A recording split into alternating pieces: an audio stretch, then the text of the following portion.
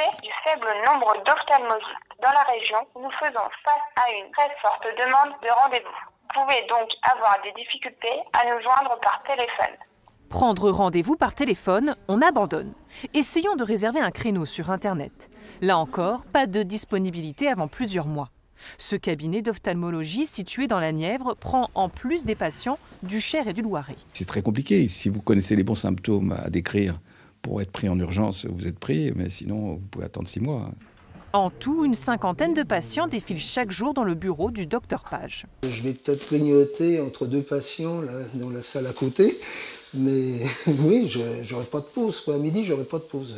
Pour lui, il n'y a pas assez d'ophtalmologues. Il y a de plus en plus de patients qui viennent, parce qu'à un moment donné, j'ai même travaillé le dimanche matin. Hein. J'ai arrêté ça pour ma santé. Normalement, ça fait 7 ans que je suis à la retraite.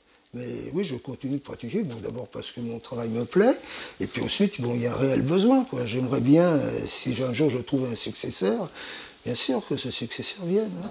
Pour réduire ces délais d'attente qui atteignent presque 120 jours dans la région, le principal syndicat des opticiens propose que ces derniers prennent en charge en boutique certains examens exclusivement pratiqués par les ophtalmologues. Cet opticien n'y est pas favorable.